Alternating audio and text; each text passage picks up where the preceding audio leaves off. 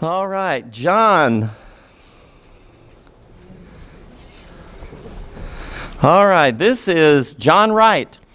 And Jon was saved some time ago, but Jon has recommitted himself to the Lord, and Jon is about to leave and go to um, a discipleship center very similar to Freedom House that we have here called First Fruits. It's up north of St. Louis, Missouri.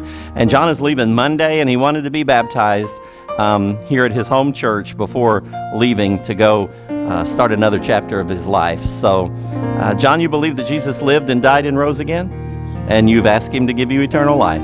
Amen. Step right in here, Jon. Oh, wait, wait, wait. She's got to get a photo. We're messing with our photographer. All right, Jon. All right, let's get another one. You want to? All right, Jon, just be seated.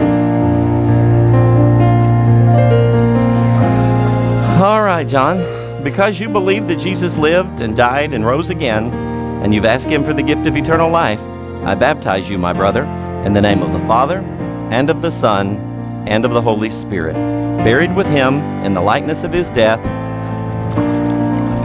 and then raised again to walk in newness of life. Amen. Look up there, Jon. Amen. All right, Jon, step out here for the big hug.